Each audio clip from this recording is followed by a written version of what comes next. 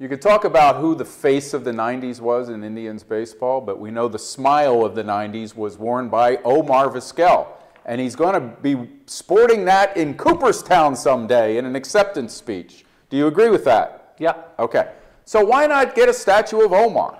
He was the most popular player here during one of the great decades in Indians history. Whether they won a World Series or not, that meant so much to those fans, the 90s. I say Omar Vizquel. So, Larry Doby, Jim Thome, Bob Feller, Frank Robinson, and now Lou Boudreau, right? Five. They have five. Do you want more? You need more statues? How many statues do you need? You add statues of everybody, you diminish the value. Are they coming to you looking for money to put statues You're out of room. You're out of room. There's no, it's, You're nowhere to walk. You're going to walk into a statue everywhere.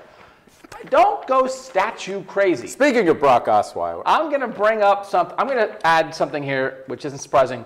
I don't know the answer to this question, but obviously, for instance, and I know they have Monument Park at Yankee Stadium, so it's different. Do they have any statues there? Any statues? You walk around, you run into Babe Ruth and Mickey Mantle and Joe DiMaggio.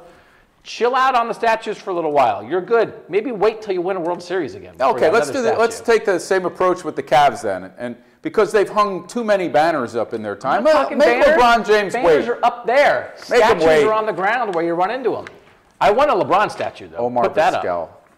Everybody agrees with me.